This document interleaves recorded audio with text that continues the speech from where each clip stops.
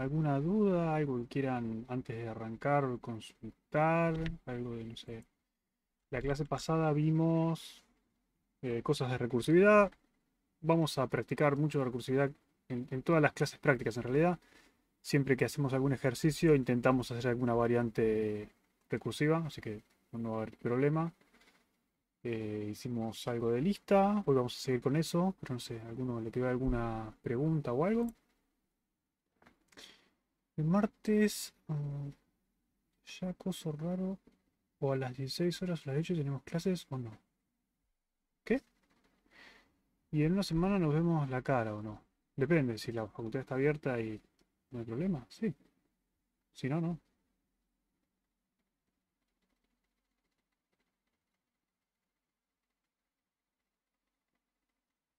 Tomo el silencio como no hay dudas. Arranquemos directamente. Vayamos.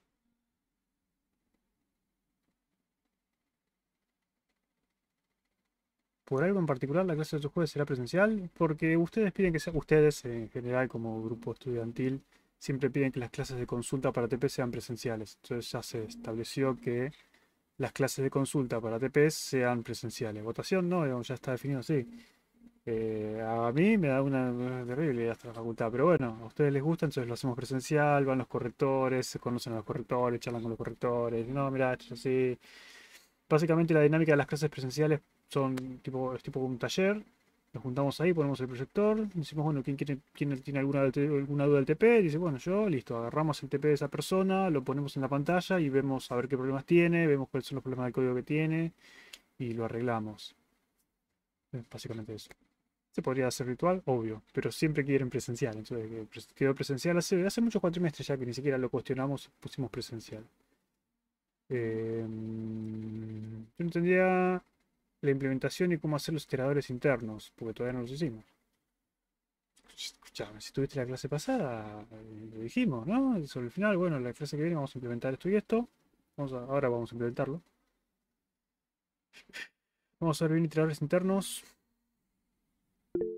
No sé, por ahí os estoy hablando en otro canal. Puede ser. Seguramente lo vamos a ver. Eh, yo tampoco entiendo la Me están cargando. Sí, no sé. ¿Cómo vemos quién es nuestro corrector? El corrector, si entregaron TP0, ya tienen corrector asignado y es el mismo del TP0. Si no hicieron TP0, bajo y agua, tienen que esperar a entregar la lista. Pregunten en general. O sea, los que ya hicieron TP0 ya tienen la ventaja de que ya saben quién es su corrector y ya le pueden consultar. Si no, digamos, no hay ningún problema. Consulten en general. Incluso los que tienen correctores pueden consultar en general. Digamos, para eso está en Discord, no hay ningún problema. Ponen en el canal. Dice TPC no sé quién es. Eso estoy seguro que Valen publicó. ¿No lo publicó? Valen había publicado una lista de correctores. ¿No? Estoy seguro. Yo la vi la lista. No sé si la subió al Discord, pero estoy seguro que está la lista. Eh, ¿Alguien había levantado la mano? Sí, yo, profe, perdón. ¿Alguna consulta? Sí, em, es más que nada eh, sobre una función de, del trabajo práctico de lista. Mientras que no sea la de tirar interno, está todo bien. No, no, no, es ah. sobre destruir. Eh, porque hay dos funciones, la de destruir la lista y después destruir todo. Correcto. El tema es que yo veo en ejemplos.c que una lista ya con elementos todo, solo para destruirla usa eh, la función lista destruir, no lista destruir todo. Está bien. Entonces, mi duda era, eh, dentro de lo que es em, lista destruir, tendríamos también que destruir los nodos, ¿no? Porque para eso me parecía que estaba la otra, la de lista destruir todo. Porque si no, en ejemplo.c me digo que perdés memoria. Hay, una confusión, ahora lo vamos a ver. Me lo anoto y vamos a hacer destructor. Eso también, con respecto a eso, alguien preguntó el otro día con la lista. ¿Cuál fue la duda exacta que pusieron en Discord? Alguien preguntó si al hacer el malloc de la estructura de lista también ya se reservaba la memoria de los punteros. esas son, preguntas súper conceptuales que ya deberían ir manejando. Vamos a verlo más en detalle hoy, vamos a repasarlo como para que no quede duda. Ya tendría que estar los TP corregidos, la mayoría está corregido, sí. Por lo que estuve viendo, sí. Puede ser que todavía no estén todos. Sí. Las dos, las dos afirmaciones son correctas. Sí. Em, si no está la lista de correctores, eh, yo ahora le digo a Valen que la publique. Primero, ¿alguno vio la lista de correctores? ¿O no está en ningún lado? Si no está en ningún lado, ya avísenme y ya, ya mismo le digo a Valen. No, listo. Mando el mensaje.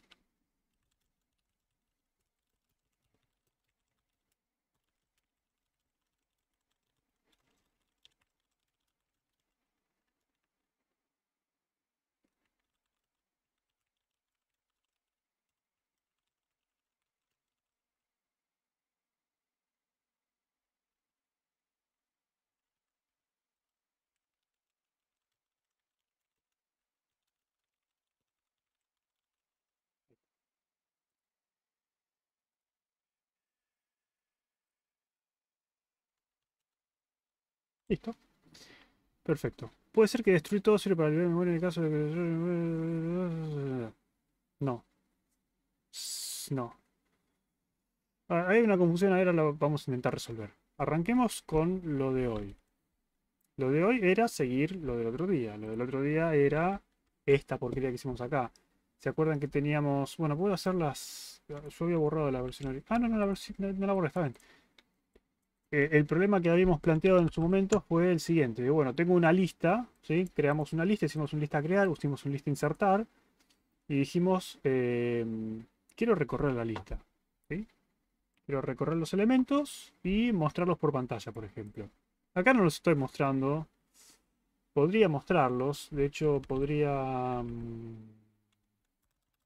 poner C, C y poner eh, elemento simplemente que se muestre el elemento por pantalla. Pongo esto también acá, para que sea igual. Vamos a ver, se llama E, se llama elemento. Aunque bueno, puedo dejarle elemento y poner elemento. Y esto también acá.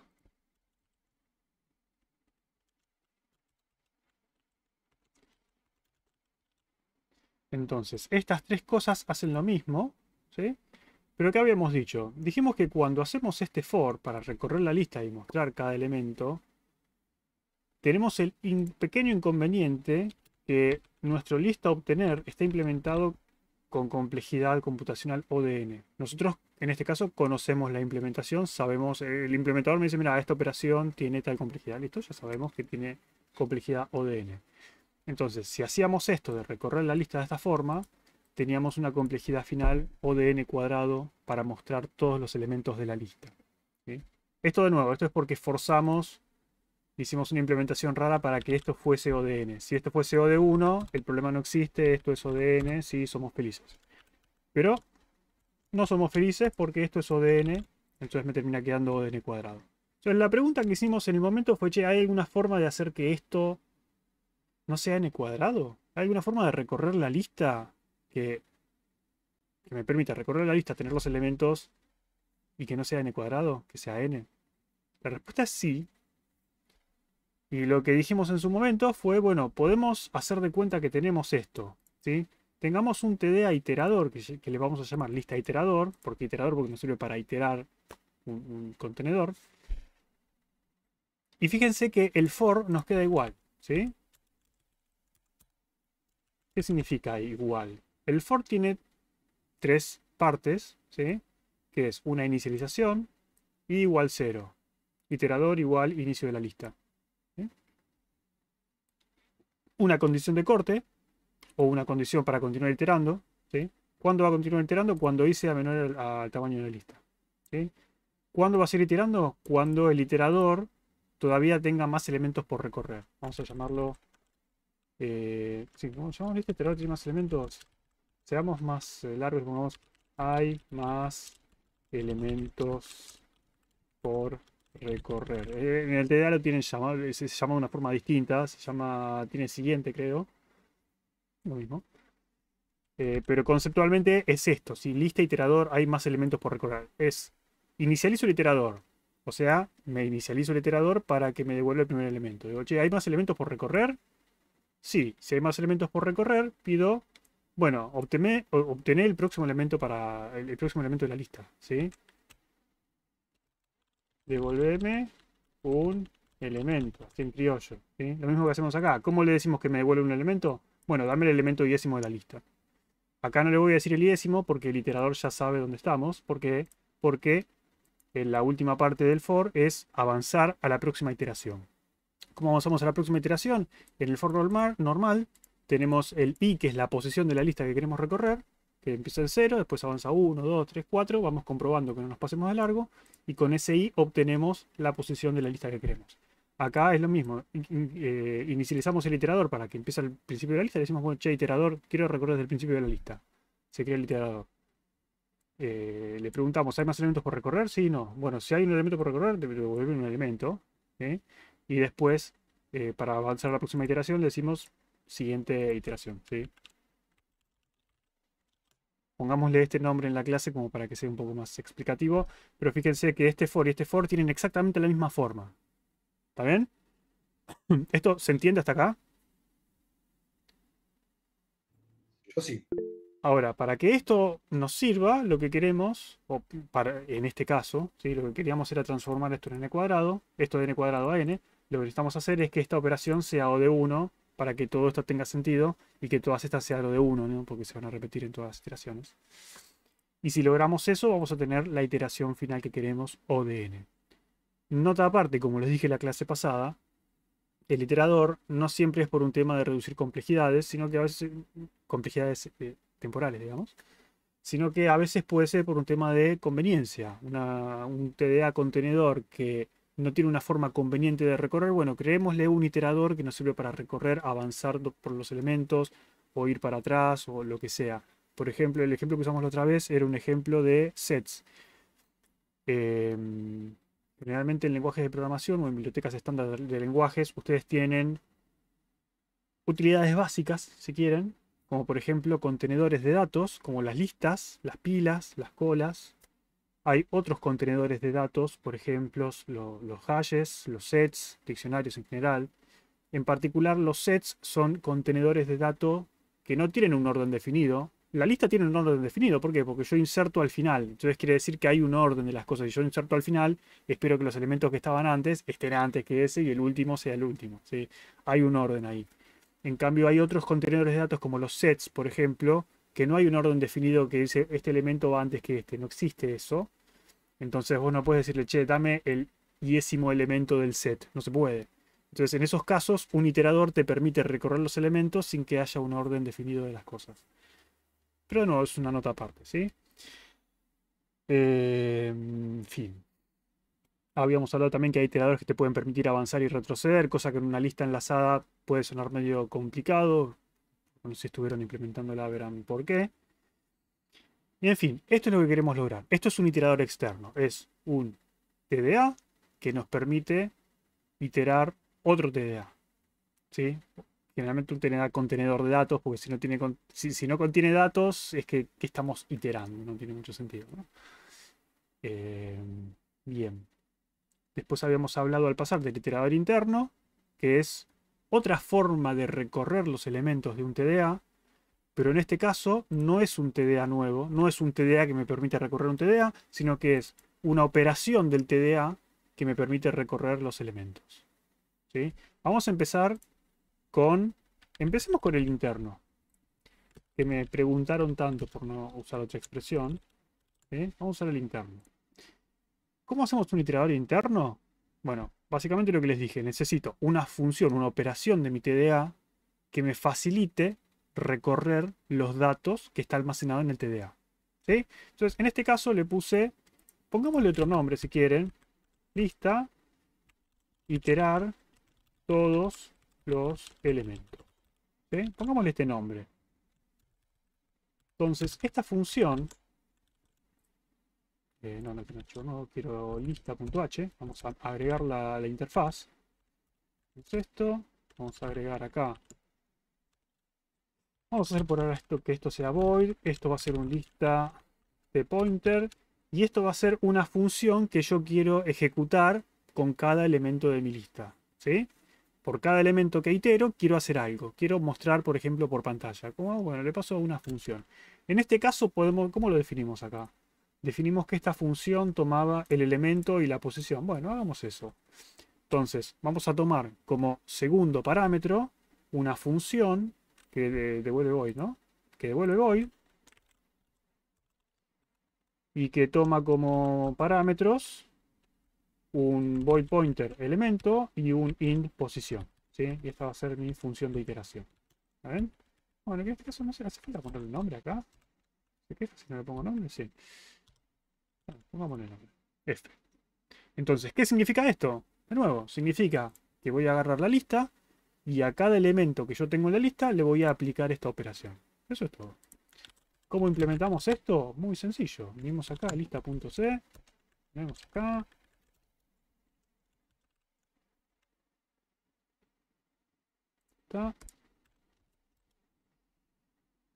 Y yo lo que dije es, tengo una lista, y a cada elemento de la lista quiero aplicarle esta operación. ¿Y cómo hago eso? Bueno, si se acuerdan, para los que no se acuerdan o no estuvieron, esta lista es un vector dinámico, ¿sí? así que tengo los elementos directamente en la mano, si quieren. Entonces, ¿cómo hago para recorrer los elementos de la lista? De hecho, eso está bueno. Recorrer los elementos de la lista es esto que está acá, ¿no? Literalmente es esto. Yo puedo hacer esto. literalmente con esto recorro los elementos de la lista, ¿no? Es el for que ya teníamos. Entonces, en vez de hacer un printf del elemento, lo que voy a hacer es invocar la función. ¿Cuál es la función? La función es f con el elemento y la posición. Y ya está, ya tengo implementado mi iterador interno. Digo, se acabó. No hay más que hacer. Entonces, ¿qué significa eso? Significa que si yo corro este código, se van a mostrar Pongamos acá. Pongo, recorro la lista con eh, una iteración normal. La de toda la vida. Y después vamos a poner acá, recorro la lista con un iterador interno. Vamos a poner otro barra n acá. Por dos está. ¿Sí? Entonces, si yo compilo y corro esto, frase, listo. Teníamos un make ¿no? Make. Ah, pero este corría pruebas. Está bien. Tendríamos que agregar las pruebas del iterador. Ahora vemos qué hacemos con eso. Tengo un main. Lista. Main. Ahí está. Corramos main. Y fíjense que pude recorrer la lista de dos formas distintas. El resultado es el mismo, por supuesto, porque la operación es literalmente la misma. ¿Sí? ¿Hasta acá estamos bien?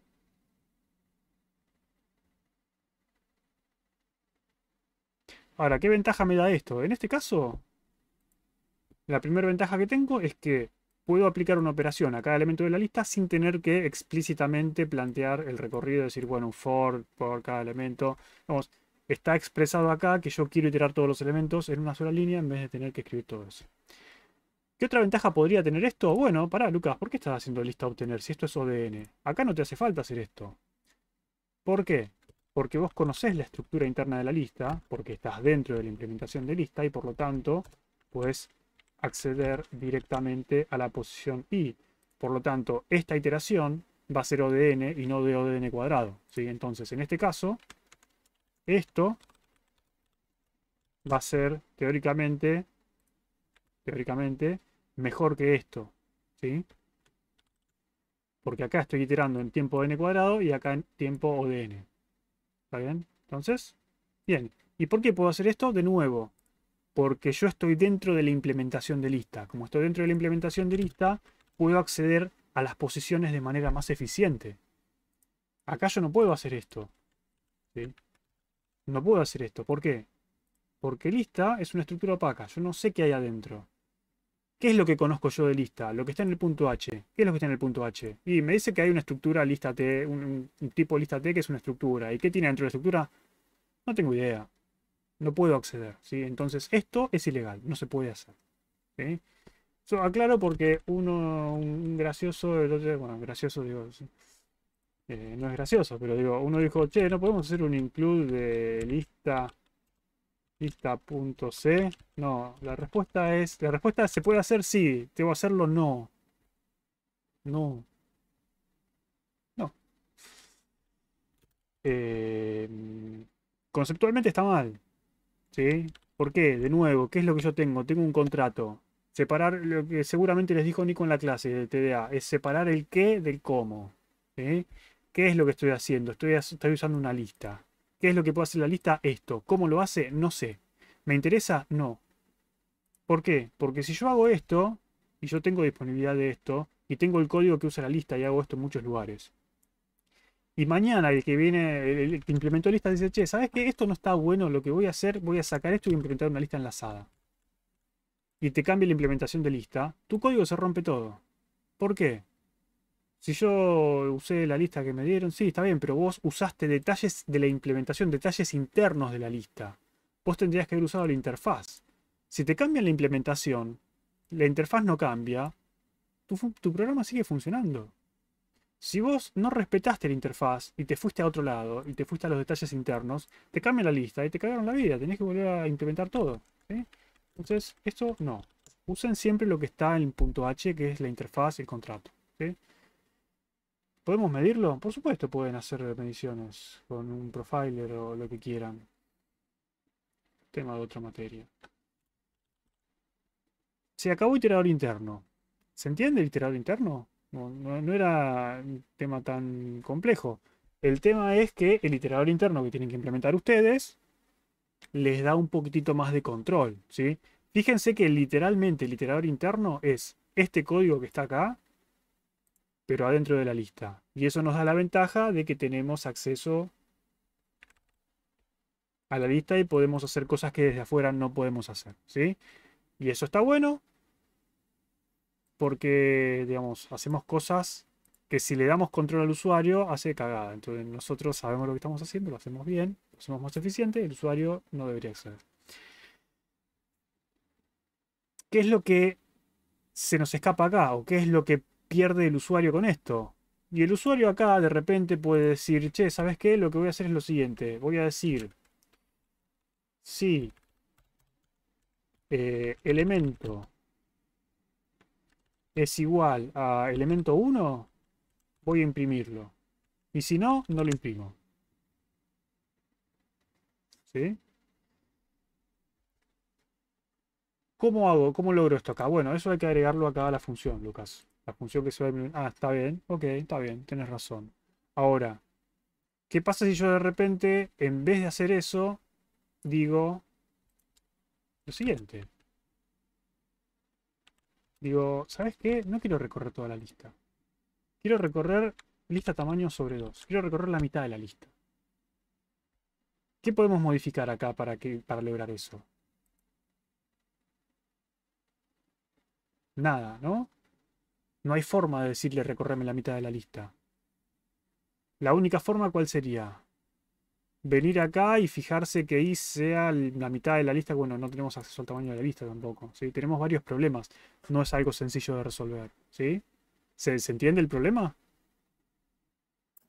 Sí, sí, sí. Entonces, el problema es que básicamente no tenemos control de lo que se itera, ¿sí? Perdemos el control de esto. Perdemos el control de las condiciones iniciales, las condiciones de continuar el, ciclo. No tenemos forma de decirle, che, seguí hasta tal lugar, o cortar la iteración, o hacer un break, o lo que sea. No podemos hacerlo.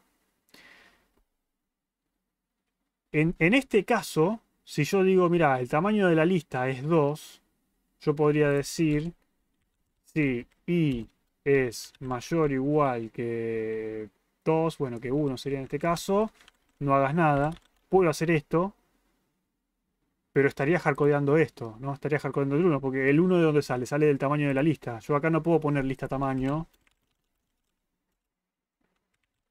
sobre 2, porque no tengo la lista. Entonces, ¿cómo hago? Y no, si querés hacer esto, en realidad tendrías que poner la lista como variable global, ¿no? Y nos empezamos a hacer un choclo tremendo acá, ¿no? Empieza a ser un desastre. Si yo quisiera hacer esto, no tengo acceso. Entonces, primer cosa que se hace. Vamos a ir por el paso número uno. Paso número uno, lo que se suele hacer acá, Y de nuevo, para que tengan en cuenta, este es el concepto de cómo funciona un iterador interno. No quiere decir que todos los iteradores internos que se vayan a encontrar en su vida van a estar implementados así. ¿sí? Siempre puede haber variantes, siempre puede haber lo que sea. Incluso en las listas, cuando ustedes ven el TDA lista, el TDA pila, cola, nosotros les damos una posible interfaz. No quiere decir que todas las pilas, todas las colas tienen que implementar esa interfaz. ¿sí? Quizás se encuentra una lista que tiene 20.000 funciones más. Les puedo mostrar ejemplos si quieren. Y no significa que la lista sea inválida, significa que es otra implementación. ¿sí? Entonces, la interfaz del iterador eh, interno es lo mismo. Puede tener otra, otra forma. Acá le podemos dar una forma distinta a la que tiene ahora. Y el problema que tenemos en este momento, ¿cuál es? Es, che, me gustaría tener alguna forma de pasarle información extra a la función. ¿Cuál es la información extra? Y en este caso es, por ejemplo, la lista. Si yo tuviera la lista, no tengo problema. Puedo hacer lo que hicimos antes. Bueno, entonces, ¿qué hacemos? Le agregamos acá un lista T. ¿Hacemos eso? Sí, no y por qué. El que dice no, ¿por qué? Federico.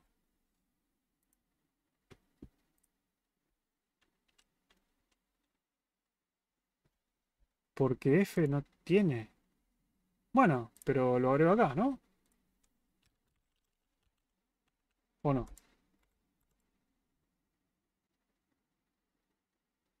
Estás cambiando el punto H, no puedes. Bien. Esto no solamente que no se debe hacer, sino que es una porquería. ¿Por qué? Porque si yo mañana digo, no, ¿sabes qué? Mi función en vez de la lista necesitaba un Pokémon. Pokémon T-Point. Ah, bueno, entonces tienes que venir acá y agregar una versión con Pokémon. No, no, no, no, no. Lo que se hace es, se agrega un Void Pointer. ¿Sí? Un Void Pointer donde se le van a pasar datos extra que uno necesite. Entonces acá directamente se pasa un void pointer, que generalmente acá le llamamos contexto. Y acá en este void pointer que el usuario pase lo que se le cante. Entonces acá vamos a decir que el contexto, yo ya sé que el contexto va a ser una lista. Lista igual contexto. Yo ya lo sé. ¿Por qué? Porque lo estoy usando yo el iterador interno. Como lo estoy usando yo, le voy a decir, che, iterador interno, cuando invoques a mi función, pasale como puntero de contexto esta lista. ¿Sí? O sea, por supuesto que nuestro contrato va a tener una forma diferente. Vamos a tener el contexto. Y entonces esto se va a modificar. Voy pointer texto. Bueno, acá no importa el nombre, digamos, no importa. ¿Sí? Entonces, ¿qué significa esto? Significa iterador interno. Recorreme la lista, a cada elemento aplicarle la función y quiero que como información de contexto me pases esto. ¿sí? Entonces, si quiero que como información de contexto me pase eso, bueno, literalmente como información de contexto le voy a pasar eso. ¿sí? Y ahí ya puedo volver a hacer lo mismo que tenía antes. Que, es eh, cortar la iteración a la mitad. ¿sí? Entonces, si mayor o igual a lista sobre 2, esto supongo que debería funcionar. Eh, menor a lista. ¿Por qué no hizo nada? Ah, ¿esto compiló? Ah, esto no compiló. Claro, compilaste, Lucas. Ahí está. ¿Sí? Y de nuevo, vuelve a hacer lo mismo. ¿Está bien? Hasta acá, ¿siguieron toda la cadena de razonamientos que nos llevó a esto? Sí. La cadena de decisiones Ahora tenemos un problema. Un problema más. ¿Cuál es el problema más que tenemos? ¿O qué es lo que estamos haciendo que... ¿Qué, es, qué tiene de diferente esto y esto?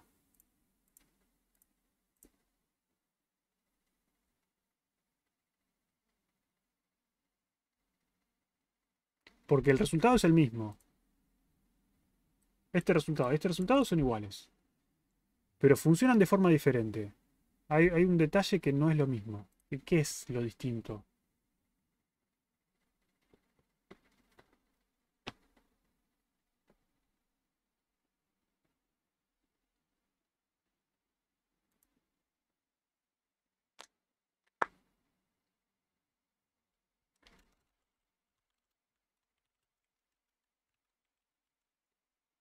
pongamos... ¿Cuánto pone? Voy a poner 100, pero pongamos 20.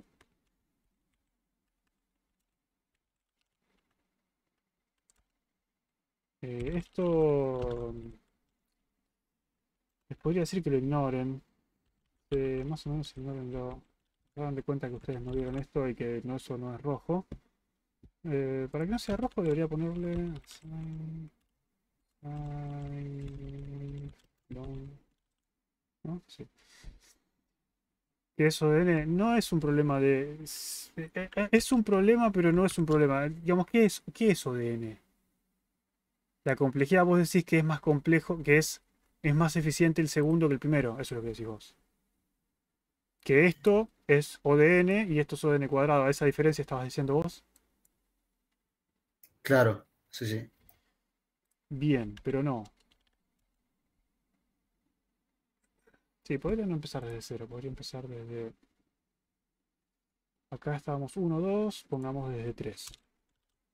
Hay otra diferencia. Que está relacionado con eso, pero no es lo mismo. Dice que acá estoy mostrando 8 elementos, acá estoy mostrando 8 elementos, está pasando lo mismo, ¿sí? ¿8 elementos? ¿Cómo 8? No. Ah, son 10 porque todavía no lo había compilado. Ahí está. 9 elementos, ahí está. Pero mi lista no tiene nueve elementos. Tiene más de nueve elementos. Yo metí un montón de elementos. Lo que está pasando es que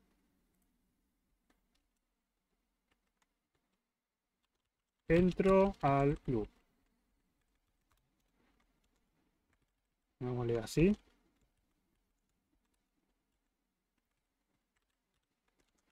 Y acá pongamos lo mismo. Entro al. Entonces, ¿qué pasó acá? Venimos acá y este entra al loop, muestra 1, entra al loop hasta el 9. Este entra al loop y de nuevo hace lo mismo hasta el 9, pero después sigue entrando. ¿Sí? O sea, si yo recorro una parte de la lista nada más y el resto no me interesa, el iterador interno sigue largo, no me interesa. El iterador interno te va a recorrer todo. ¿Sí? Claro, sí, sí. Se, se nota la diferencia. ¿no? Entonces, ¿qué es la otra cosa que podemos hacer? Que es una de las cosas que hicimos en el TP. Lo que podemos hacer es, por ejemplo, hacer que esta función devuelva un booleano. Eh, ¿Quiere decir que todos los, los internos hacen esto? No, pero bueno, puede ser una posibilidad. Y lo que vamos a hacer es hacer que devuelva true o false dependiendo de si queremos que continúe o no queremos que continúe la iteración. ¿sí? Entonces podemos decir, si llegaste hasta acá, Seguí, seguí iterando. Si llegaste hasta acá, no sigas iterando. ¿sí? No iteres más. Entonces, con esta nueva modificación, ahora decimos que esto en vez de void va a ser bool. Esto en vez de void, eh, esto, en vez de void va a ser bool. Y acá lo que vamos a saber es eh, bool continuar. ¿sí? De hecho, de hecho esto lo puedo poner arriba continuar, igual tú tenemos continuar. ¿Sí? Entonces es una, una condición extra. No tengo el este de bull. Este es una condición extra que le estoy diciendo y el continuar va a venir como resultado de la función. Entonces, desde mi función, que es la función que da el usuario, esta función es del usuario, la implementación de la lista no tiene idea de lo que es esto, con esta función yo ahora puedo influenciar los elementos que se están iterando. ¿Sí? Entonces ahora, si no me tira pata, bull, no es bull, no es boolean en C, o, ¿qué, hice? ¿Boolean es? No. No es bull. ¿Dónde puse bool que no está usando bool? Dice lista.h. Ah, en lista.h no le agregué el st de bool. Está bien, tiene razón. De hecho, si lo pongo acá, no sé qué estoy acá. Ahí está. Y ahora, de nuevo, se comportan de la misma forma. ¿sí? Entonces, ahora con este iterador interno que definimos, que paso a paso lo fuimos modificando, yo puedo hacer lo que quiera. Puedo hacer lo mismo haciendo un loop a mano que con el iterador interno. Puedo cortar la iteración cuando quiera, puedo eh, aplicar una función a cada elemento, puedo, no sé, lo que sea.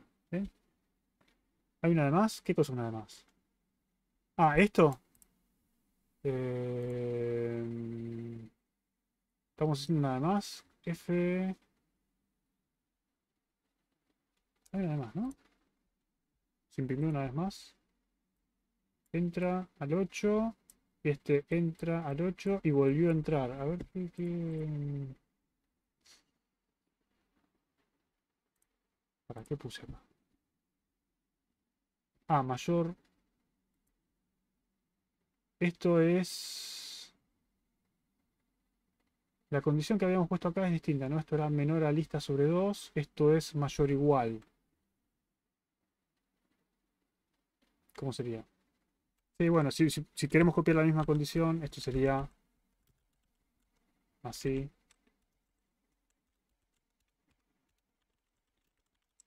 Así, ¿no? Quizás. O le seguimos pifiando por uno. No, le pifiamos por varios. Esperá. Si es menor a la lista de 2, printf true. Ah. Por. Por supuesto. No, sí. Ah, está bien. Está bien. Sí, sí, sí, sí, sí.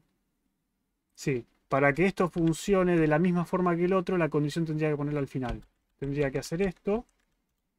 Y acá en vez de return true debería retornar esto. Ahí está.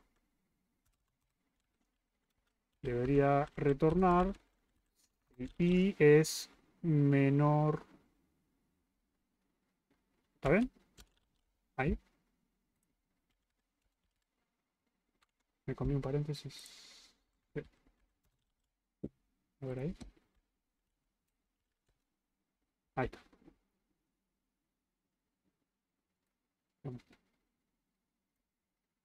Hice uno de más. ¿Por qué hay un menos uno que me está jodiendo? El último que tengo que iterar es...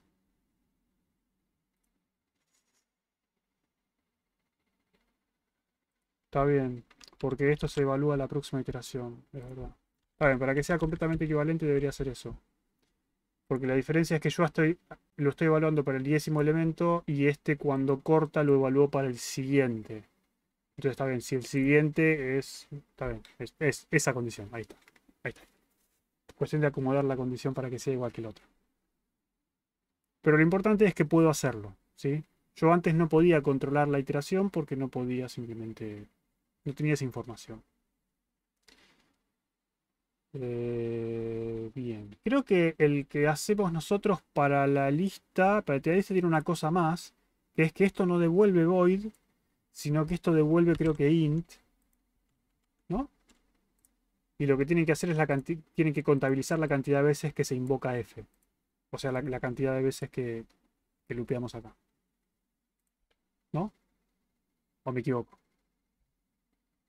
Esa no la voy a hacer, se la dejo a ustedes porque es, es casi trivial, ¿no? Es contabilizar cuántas veces iteraron, nada más. Listo. ¿Damos por cerrado tema de iterar interno?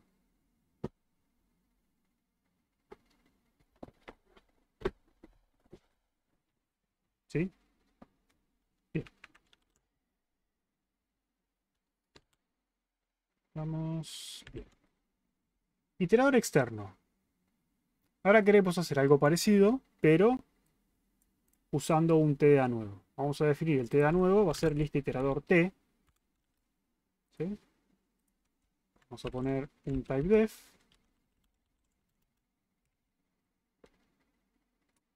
Tengo que escribir lista iterador. Ser lista iterador. Bueno, pongámosle lista iterador.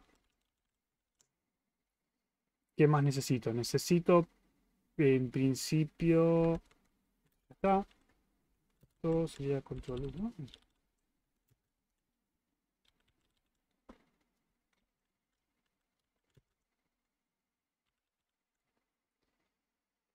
necesito primero lista iterador crear ¿qué va a hacer lista iterador crear? va a crear este TDA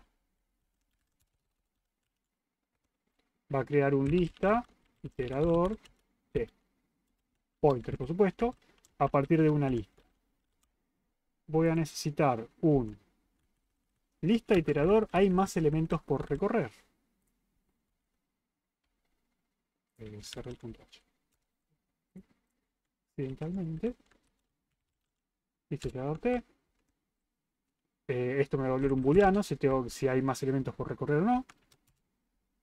Y después necesito un iterador siguiente iteración. Y me falta uno más. Hay siguiente iterador, siguiente iteración. Que vamos a hacer una a nada.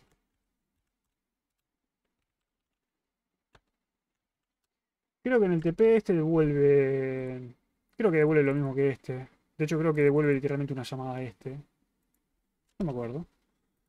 Y después tenemos este.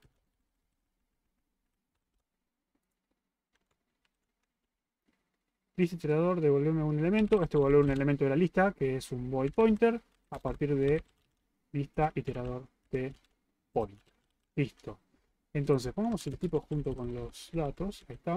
Pero forma parte de lo que es la implementación de lista. Entonces tenemos que implementar estas cosas. venimos acá a la lista. Vamos acá. Pongamos primero la definición de la estructura. Mi iterador va a ser... No sé.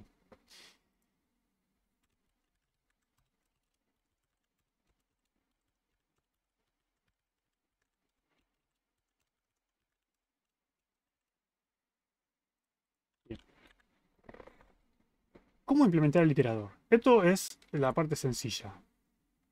¿Por qué digo la parte sencilla? Porque, primero, lista iterador crear, en principio, es trivial, ¿no? Porque es un lista iterador t, iterador igual a malloc de size of lista iterador t. Como siempre, necesito lugar para guardar los datos del iterador. ¿Qué tiene dentro? No sé, bueno, no importa, el size of carga. ¿Qué más tengo que hacer? Si el iterador es distinto de null, puedo inicializarlo. ¿Cuál es la inicialización? Bueno, todavía no sé porque no le puse datos todavía. Eso ya lo vamos a hacer. Y una vez que está inicializado, lo devolvemos. Listo. Trivial. Ahora, ¿cómo implemento estas cosas? Y acá de nuevo lo que tienen que, que recordar es que ¿cuál es la idea del iterador? La idea del iterador es recrear esto. Si yo quiero recrear esto tal cual está acá, la forma más trivial de hacerlo es como hicimos con el iterador interno. ¿no? ¿Qué hicimos con el iterador interno? Copié esto. ¿Por qué? Porque dije que era lo mismo que hacer todo esto. Bueno, pará. El iterador interno no es como hacer todo esto, sino que, bien, es hacer todo esto, pero por partes. ¿Cuáles serían las partes? Bueno, las partes son, primero necesito inicializar el iterador. Pará, pero si el iterador en definitiva va a ser esto, yo estoy inicializando el iterador acá, y acá lo que estoy inicializando es i, no me alcanza con decir que mi iterador es un int i. Sí. Y cuando inicializamos el iterador, ¿qué hacemos? Ponemos i igual 0. ¿O no? Literal. I igual 0. Bueno, está bien. Segundo, iterador tiene siguiente. ¿Sí? Olvidémonos del dividido 2. Y básicamente, ¿qué decimos? Preguntamos si i es menor a la lista de tamaño. ¿Y tenemos sí? Sí, tenemos sí. ¿No? Y es lista i. Y la lista... Ah, no tengo la lista, tengo el iterador. Mm, esto no funciona. Ah, pero la lista la puedo guardar si la tengo acá. Ah, listo, dale. Lista, T, lista. Me guardo la lista.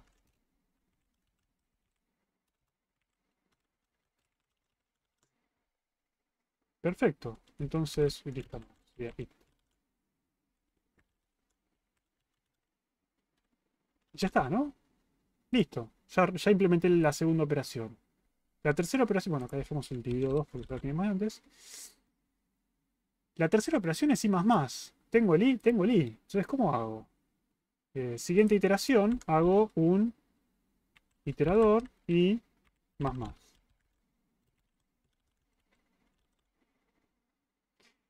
Y el último es el devuelve un elemento, que cómo era, era esto.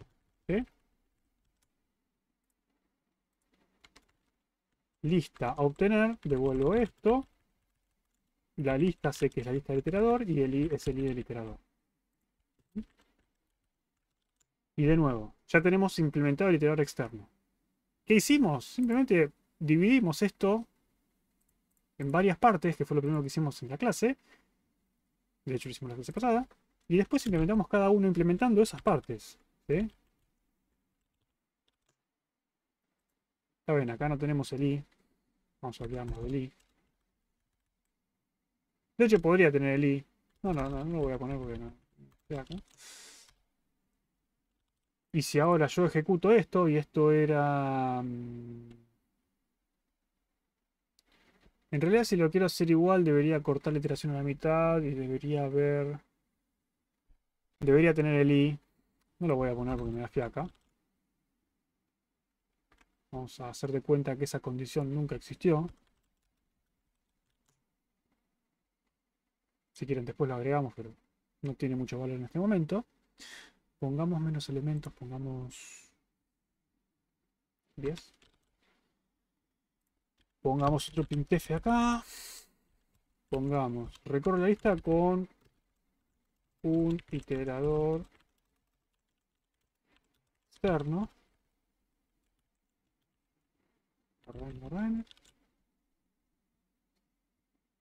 Y si tenemos suerte, y no hicimos nada mal, esto debería compilar y correr. Y debería mostrar las tres veces lo mismo. ¿sí? Elemento del 1 al 9, elemento del 1 al 9, elemento del 1 al 9. Bueno, el printf lo voy a sacar porque es molesto, molestísimo.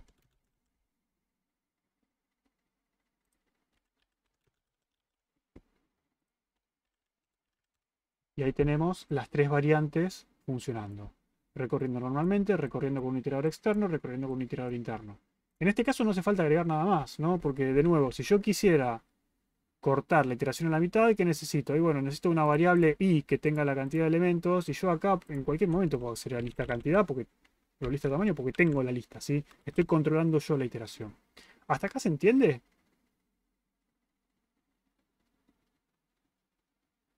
Sí. Bueno, ¿y qué es lo que falta? Lo que falta es trabajar en esta, ¿no? Porque esta, igual que como hicimos con el iterador interno, la copiamos literal. Pero yo acá, estando dentro de la implementación de lista, puedo hacer algo mejor. ¿Y qué sería hacer algo mejor? Sí, yo tengo la lista, puedo acceder directamente a la posición i. Entonces, eh, lista, lista vector, ¿sí? Puedo hacer eso. Técnicamente acá también lo puedo hacer, pero este tamaño la verdad que no, tiene ninguna, ningún problema. Y ahora sí, esto es O de 1 y la iteración es O de n en vez de O de n cuadrado. ¿Sí? Esto sigue funcionando. Ahí está. Entonces, ¿cuál es la idea? La idea es, queremos recorrer un TDA. ¿Cómo lo hacemos? Así, esta es la forma más básica. Ok, ¿cómo hago para hacer con una función? Bueno, haces una función que haga eso y literalmente la función va a tener esto adentro, porque es lo que quieres hacer, recorrerlo. Después ves cómo lo mejoras según lo que tengas adentro. En este, en este caso, podríamos mejorar esto. ¿Por qué? Porque tengo acceso directo a los elementos, entonces puedo directamente acceder al vector. Listo. Si estos fuesen nodos enlazados, obviamente va a tener una forma distinta, porque vos tenés nodos enlazados y seguramente estás recorriendo la cadena y lo que vas a hacer es ir recorriendo la cadena uno a uno. Y Lo mismo acá. Hicimos lo mismo. ¿Qué hicimos? Planteamos un TDA. Dijimos que tiene estas cuatro operaciones. ¿Cómo implementamos las cuatro operaciones? Bueno, literalmente estas cuatro operaciones son exactamente estas cuatro operaciones. Entonces las implementamos como esas cuatro operaciones. Y después vemos qué podemos mejorar. En este caso podríamos mejorar esto. En el caso de lista enlazada, seguramente también tengan que mejorar esto, porque si hacen el obtener, el obtener va a ser ODN, porque tienen que recorrer toda la lista porque es enlazada, para llegar a la posición I. Pero en vez de recorrer toda la lista cada vez, ¿por qué no directamente hago esto? Que va a ser lo mismo que van a hacer con el interno, ¿no? Eh, ya está. ¿Alguna duda? ¿Se entiende iterador interno y externo? ¿Ve que no es tan, tan dramático y complicado? Por supuesto, cuando uno sabe las cosas es fácil.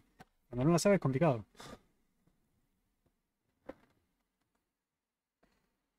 ¿Tiene algo de sentido todo esto que les conté? ¿O no tiene ningún sentido?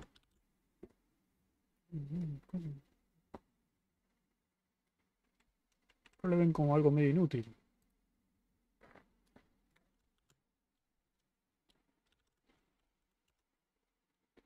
Me quedo con el for, pero de nuevo, el for tenés este problema.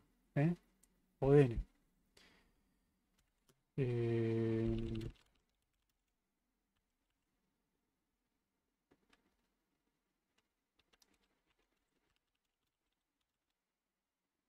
Eh, por ejemplo.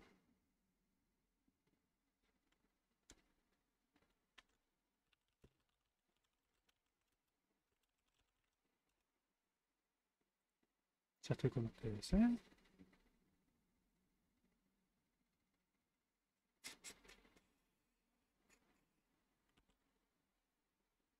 Quería ver si encontraba, por ejemplo, yo les hablaba antes de, cosas, por ejemplo, otros lenguajes, otros lenguajes de programación, otras bibliotecas estándares, lo que sea, ustedes tienen TDAs ya implementados. Por ejemplo, si vienen acá van a encontrar que tienen colecciones como listas, pilas, colas, listas. Tienen una cola, tienen sets, tienen una lista, una cola doble, eh, una link. No sé por qué querrían una enlazada, pero bueno, no importa. Hay un montón de cosas que pueden implementar. Pueden implementar una lista como un array, pueden implementarlo como un vector, pueden implementarlo como una lista secuencial, que no sé esto que tiene adentro, tipo una lista, una lista enlazada. ¿sí? Distintos lenguajes de programación tienen distintas bibliotecas estándares, tienen distintas formas de presentarles los TDA. ¿sí? C no tiene ningún TDA implementado. Bueno, tiene algunas cositas que no vamos a usar. Pero lo que quiero es lo siguiente. Fíjense que eh, cada una de estas cosas que están acá, por ejemplo, lista enlazada. La lista enlazada, acá, esto es una forma distinta de, presentar las cosas, estos son lenguajes orientados a objetos. La idea es la misma, ¿sí? Me dice que la lista enlazada es iterable. ¿Qué significa que sea iterable? Significa que puedo iterar. ¿Cómo itero? Bueno, tengo la interfaz de iterador que fíjense que tiene un montón de basura, ¿sí? Un montón de cosas. Pero básicamente van a tener Bueno, el iterable acá lo, implementa iterador. Y el iterador, ¿qué va a tener? Fíjense que el iterador tiene cuatro operaciones. Que quizás no es exactamente lo mismo que hicimos nosotros. Pero tiene, bueno, la inicialización no la tiene porque la creación viene por otro lado. Pero tiene un hasNext, que sería el tiene siguiente que hicimos nosotros. ¿sí?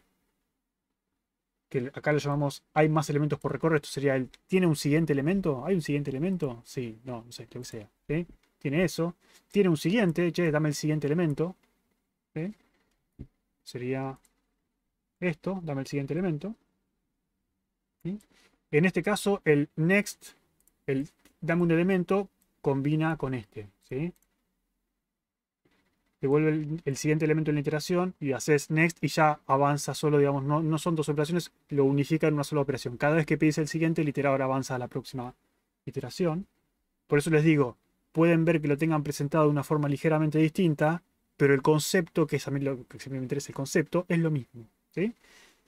Fíjense que este iterador tiene también una operación remove para eliminar el elemento que están recorriendo actualmente, si quisieran. Operación opcional. Se ve que no todos los iteradores implementan. Mm. Perfecto. ¿Qué más les quería mostrar? Les quería mostrar, por ejemplo, tenemos una lista enlazada como la que tienen que implementar ustedes. ¿Qué les cuenta cada lista enlazada? ¿Les cuenta algo? Fíjense que en este caso, en este caso, no siempre es el caso, me está diciendo el lenguaje qué tipo de implementación tiene. Generalmente nosotros intentamos separar el qué del cómo, decimos tenemos una lista. Bueno, la lista que es enlazada es un vector, no sé, es una lista. Acá es como más específico, me dice esta lista es enlazada. ¿Qué es una lista enlazada? Acá la tenés. ¿sí? Entonces, no sé si acá hace alguna mención de, de ODN o de algo, supongo que no, pero bueno, ya se sabe que es ODN. Y yo lo que puedo hacer es, por supuesto, get, obtener una posición de la lista. ¿sí? Eso lo puedo hacer. Ahora, por otro lado, yo tengo un hash set, que es otra colección que no tiene nada que ver con una lista, ¿sí? es un set, donde yo no tengo un orden de las cosas definido, al cual yo puedo agregarle cosas, ¿sí? puedo preguntarle si contiene una cosa. Che, ¿tenés este elemento en, tu contenido? Sí. Pero no puedo decir, dame el iésimo elemento. ¿Por qué? Porque no hay orden de las cosas. Esto es lo que les decía antes, ¿sí? Entonces, este TD en particular, no hay forma de recorrerlo de la primera forma. Que uno dice, aguante el for. ¿sí? No puedes hacer esto. No hay una forma de decirle, che, dame un elemento. No existe. La única forma que tienen es con la función iterator que les devuelve un iterador y de nuevo volvemos al iterador. ¿sí? Entonces, en definitiva, terminan usando esto porque no hay otra forma de acceder a los elementos. Eso es lo que les contaba al principio de la clase. ¿Qué pasa si agregamos un elemento mientras tenemos el iterador? Bueno, se puede llegar a romper tranquilamente. De hecho, es una de las cosas que dice, si ustedes leyeron el punto HTTP, por supuesto que lo leyeron, dice que el iterador deja de ser válido en el momento que ustedes insertan o eliminan algo de la lista. ¿Por qué? Bueno, porque pueden. Yo no sé qué está haciendo el iterador, el iterador externo. Quizás se guardó un nodo y va recorriendo el nodo, o quizás hace otra cosa.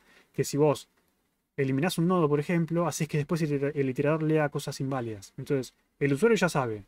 Si vos modificás la lista mientras estás iterando, no uses más el iterador. Porque puedes tener problemas. Vos le avisás. Después, si el usuario lo hace, no puede hacer nada. En el TP tenemos que usar ambos iteradores o podemos utilizar. ¿Utilizar? Tienen que implementarlo más que utilizarlo. Tienen que implementarlo y probarlo. Eh, utilizar no tienen que utilizar nada. Tienen que implementar todo. El iterador en este caso no me acuerdo si dice algo con respecto a la validez. Creo que no. Porque justamente tenés un método para remover, así que no, debería haber problema si usas el método.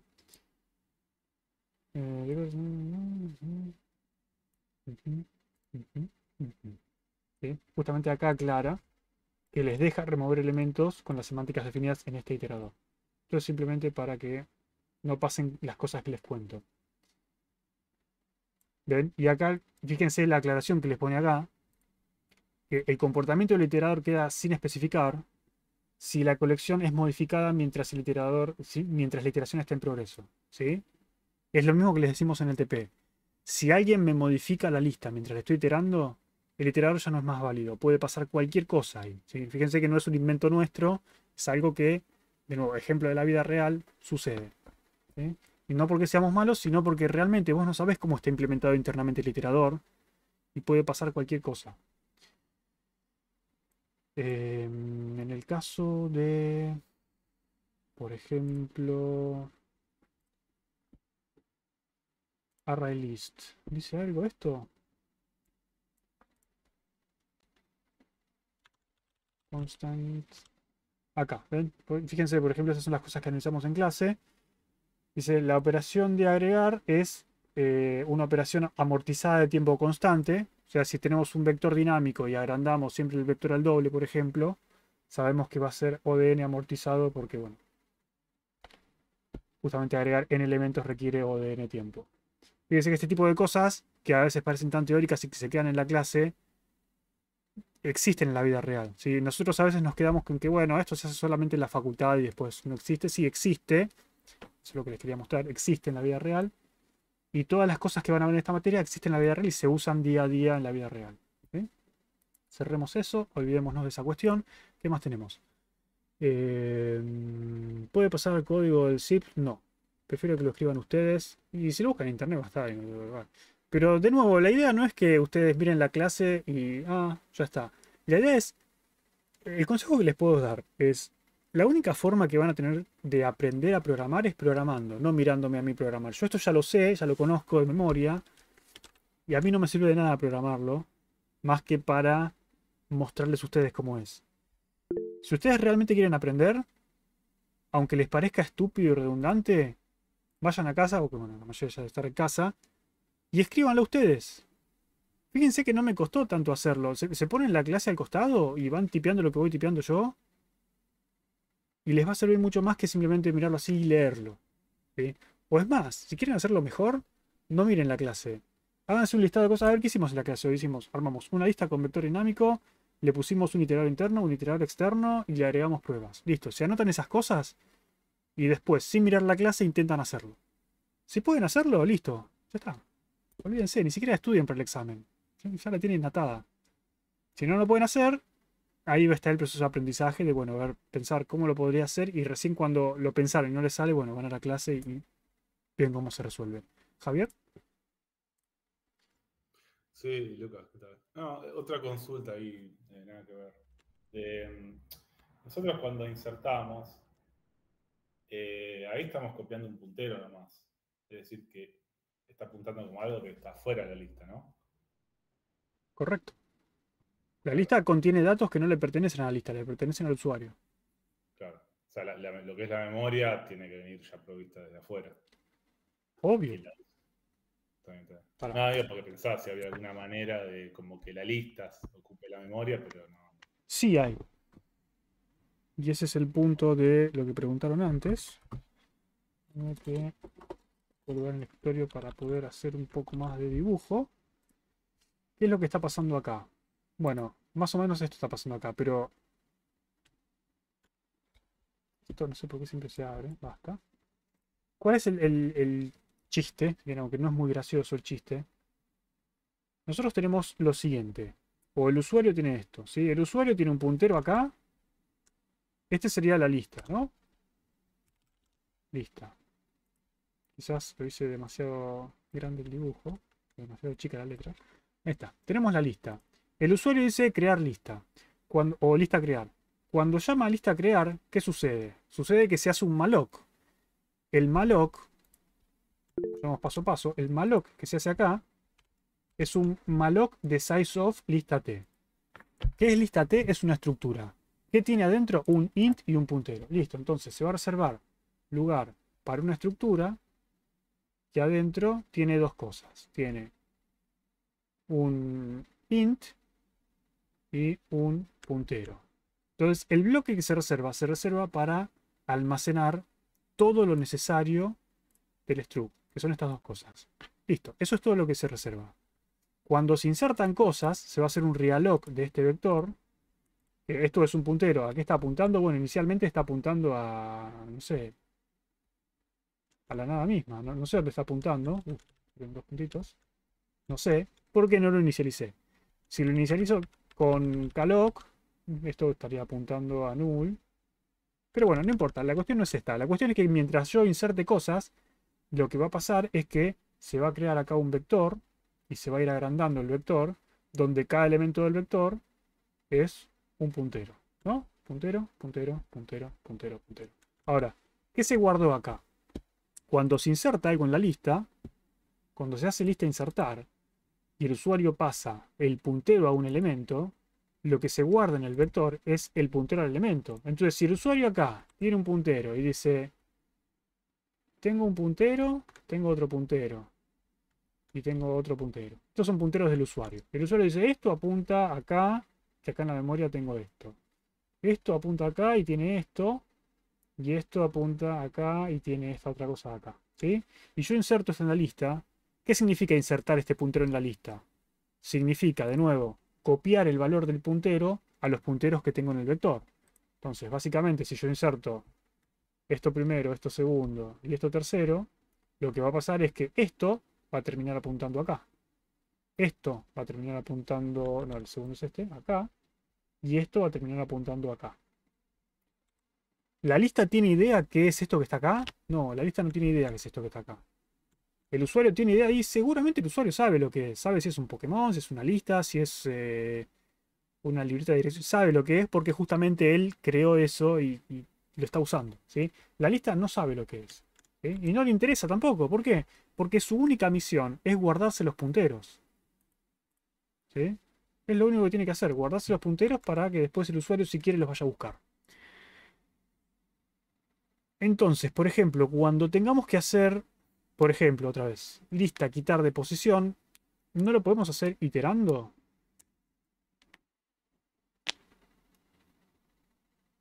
¿Iterando con el iterador? No. Porque entendí que cuando iterábamos no podíamos modificar la lista. Cuando usás el iterador externo no puedes modificar la lista. Iterador externo. Este iterador, ex- este iterador externo. Pero vos, en tu implementación de lista, hace falta que uses el iterador. No, el iterador externo es para que lo use alguien externo, no para que lo uses vos. No tiene ningún sentido que tu implementación de lista use tu iterador exter- externo, porque la gracia del iterador externo es que la persona de afuera no conozca la implementación interna de la lista. Vos la conocés. Entonces no te hace falta. Es medio... Ah. Usar un iterador externo en tu implementación de lista es, es como un, un desperdicio. Porque además, ahora vamos a la cuestión que nos queda, que cuál es, estamos haciendo un malloc y no estamos haciendo un free. Así que seguramente necesitamos un, en algún momento, un lista, iterador, destruir, que no lo hicimos. Destruir. Entonces es agregarle complejidad a tu implementación que no tiene ningún sentido. No tiene sentido porque el chiste del iterador externo es que lo use alguien que no conoce la implementación interna. Vos conocés la implementación interna, usar el iterador externo es complicártela. Es hacer código más largo, básicamente en este caso. Y en C es peor porque tenés que verificar los accesos a memoria, tenés que verificar la creación de memoria, la reserva de memoria. Y nada, te metes en un problema, básicamente. Pero siguiendo con esto, cuando yo hago esto, ¿sí? estoy insertando elementos en la lista. Insertando elementos en la lista es copiando punteros del usuario. El usuario sabe qué son, yo no sé qué son. ¿sí? Ahora, cuando yo hago lista a destruir, me olvidé que esto es la lista apunta acá, obviamente. Cuando yo hago lista a destruir,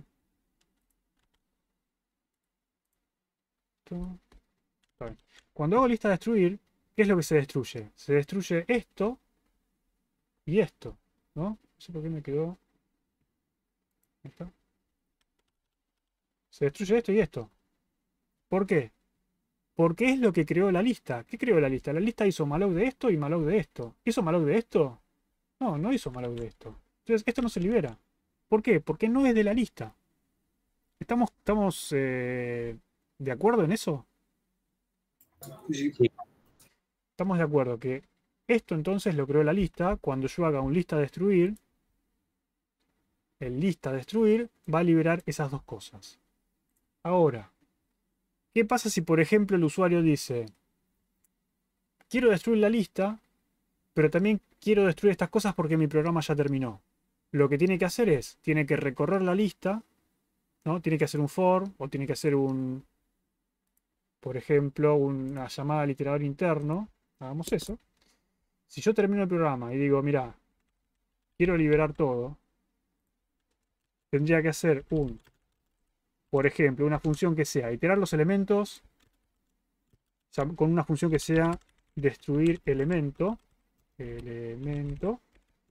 Eh, contexto no necesito, eh, voy, null, no necesito contexto, así que no me interesa. Entonces, esta función recorre la lista, destruye los elementos, o sea que básicamente recorre la lista, hace tuki, tuki, tuki, y después se destruye la lista, viene, destruye la lista. Ahí liberamos todo, nos aseguramos que se destruya todo. ¿Está bien? Entonces, eso sí se hace en ese orden. Venimos con el iterador interno, de nuevo. Destruimos, destruimos, destruimos. Y después destruimos la lista que elimina esto y esto. ¿sí? Ahora, lo que decimos nosotros es que se podría de alguna forma decirle a la lista, che, lista, cuando destruyas la lista, también destruir los elementos. Bien, Para que dejemos que está acá. Entonces, en vez de hacer esto, lo que voy a hacer es lista destruir todo y pasarle un destruir elemento. ¿Qué es destruir elemento? Bueno, destruir elemento justamente es la función que sabe destruir los elementos del usuario. ¿Por qué? Porque yo no puedo decir, bueno, destruir todo, ¿sabes qué? Le voy a hacer free a estas cosas. ¿Por qué no le puedo hacer free a estas cosas? Porque yo no sé si estas cosas fueron reservadas con free, con malloc, Y si fueron reservadas con malloc, no sé si son estructuras que quizás apuntan a otras cosas que tengo que liberar más cosas. ¿sí? Lo que yo quiero es un destructor completo de estas cosas. Entonces, básicamente, el destruir todo, que me preguntaron al principio de la clase, es eso. El destruir todo es no solamente destruir la lista, sino que a medida que destruyas la lista también liberar los elementos del usuario de la forma que el usuario te dice. ¿Sí? Entonces, el usuario te dice, aplicale a cada uno de los elementos que tienes esto y después destruir la lista. Es como combinar las dos cosas, es como combinar esto con el destructor que teníamos antes en una sola operación para que se haga de una no tengamos que recorrerlo. ¿Sí? Ah, ok, ok. Buenísimo. Buenísimo, buenísimo. Que dicho sea de paso, pista, si yo hago esto y le digo, lista, destruime todo, aplicándole una función nula. La función nula no existe, digamos, es una función que no, no puedo llamar la función nula. Esto debería ser equivalente a qué? A, bueno, voy a destruir los elementos del usuario aplicando una función que no existe. No puedo aplicar la función, en definitiva va a pasar esto. Ténganlo en cuenta para cuando implementen el TP, quizás les puede simplificar el código. Eh, bien, listo. Damos por cerrado el tema de iteradores. ¿Y lista? ¿Sí? Contesto últimas dudas antes de hacer una pausa.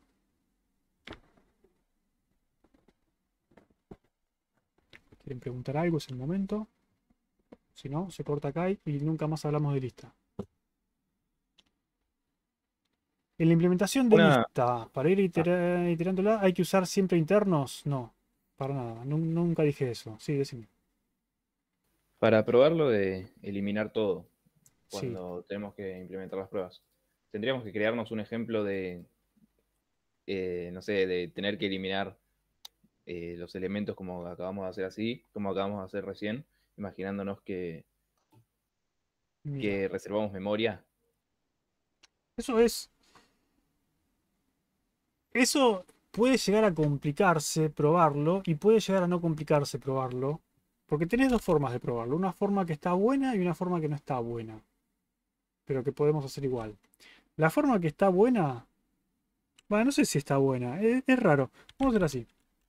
A hacer. eh, tengo lista de destruir. Vamos a hacer una lista de destruir todo. Voy. Lista, destruir todo. Lista.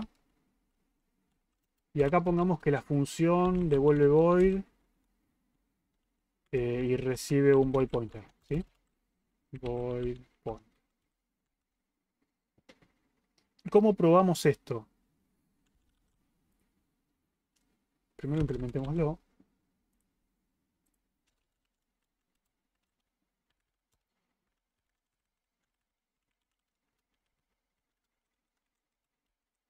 Hagamos una implementación así nomás. ¿Cómo sería la implementación así nomás? Sería, bueno, acá voy a hacer una lista destruir de lista. Pero antes lo que voy a hacer es, si quieren, esto. For. Voy a recorrer los elementos y voy a decir que la función que voy a aplicar es f de lista, de lista no, de lista vector y siempre y cuando exista f, ¿no? Si no existe f, si f es null no la puedo invocar, así que no lo voy a hacer. Esto me molesta, así que gracias, vamos a formatear el código. Esto sería un destruir todo básicamente, que es literalmente lo que dije. Recorro la lista, aplico la función del usuario si existe y después destruyo todo. Ahora, Al if f lo podrías poner adentro del for, ¿no? En la, en la condición para iterar. Pues si no estarías iterando un montón puede- de podría ser, eh, ¿por qué no? Podría poner... Si fuera, si f fuera null, por ejemplo, estarías iterando aunque no exista. Eso les puede servir en TP de iterar igualmente, porque por motivos, pero ya veamos. ¿Cómo pruebo esto? Hay dos formas de probarlo, como ya les dije. La forma más fácil de probarlo es así, es decir, ponemos pruebas de, de iterar, no, de destrucción. Vamos. Entonces lo que voy a hacer es decir que lista destruir todo, eh, destruye todos los elementos. Para saber si esto funciona, lo que voy a hacer es, voy a crear una lista.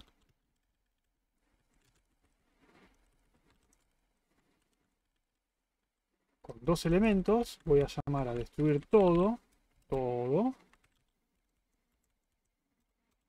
y voy a, por ejemplo, hacer esto. Voy a hacer que esto sea un malloc y esto sea un malloc de 1 y eso. ¿sí? Y esto de alguna forma me lo va a probar. ¿Por qué? Y bueno, porque en realidad, si esto funcionara, ¿sí? Está bien, no me va a mostrar nada, pero no perdí memoria. Si esto no funcionara, estaría perdiendo memoria. Entonces es una forma posible de probarlo si quieren, o si quieren para que sea más gráfico. Eh, si estuviese implementado así, por ejemplo, y me olvidé de aplicar la función del usuario, pierde memoria. ¿sí? Entonces, con esto por lo menos ya saben que está bien implementado. No está bueno porque no me está mostrando nada por pantalla, entonces pruebas de destrucción, no sé nada, pero te vas a enterar que están mal las pruebas.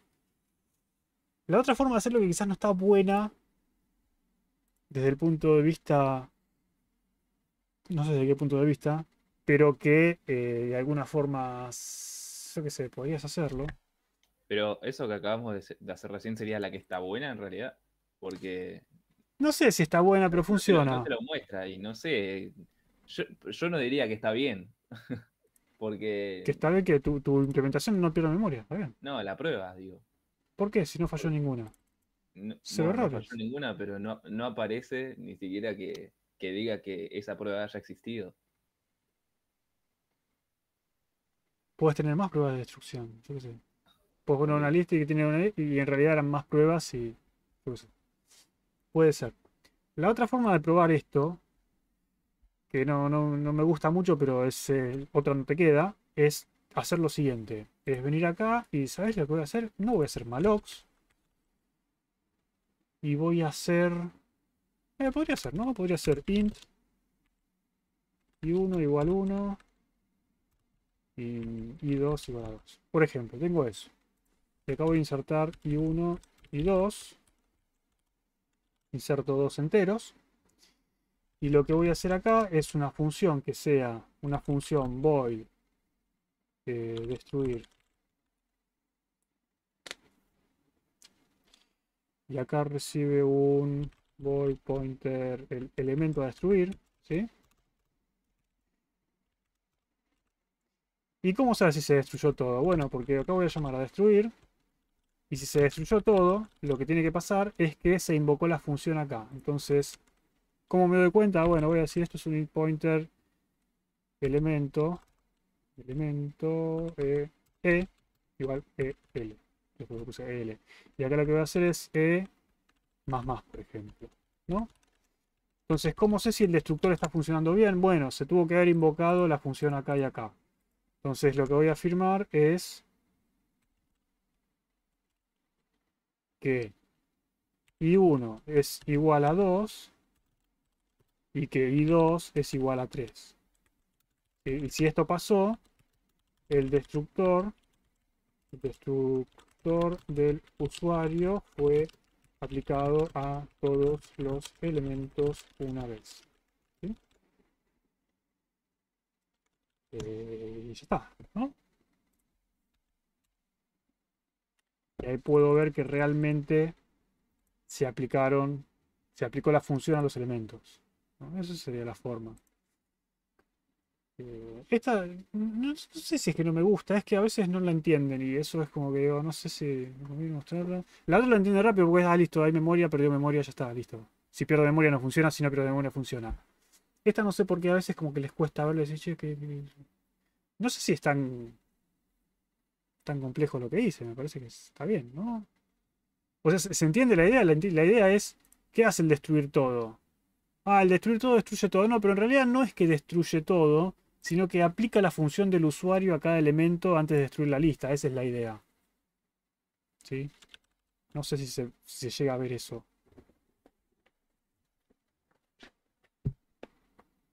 ¿Tiene sentido esto o no? Soy yo.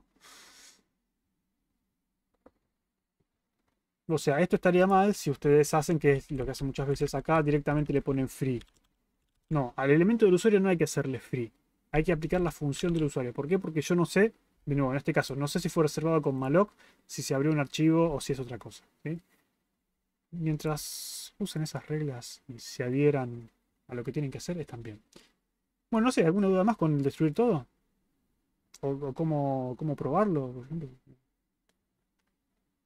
El iterador interno también se prueba de esta misma forma. El iterador interno vos le pasás un contexto y lo vas modificando entre iterador y te das cuenta si se invocó para todos los elementos en el orden correcto o no. Te vas guardando la información.